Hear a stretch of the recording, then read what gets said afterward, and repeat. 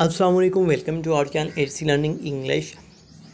आज की क्लास का आगाज़ करते हैं और जानते हैं कि अरबी को इंग्लिश में क्या कहते हैं। अरबी भी कुछ लोग इसका कहा जाता है, यानी कि अरबी को इंग्लिश में क्या कहा जाता है, आज की इस क्लास के अंदर हम देखते हैं।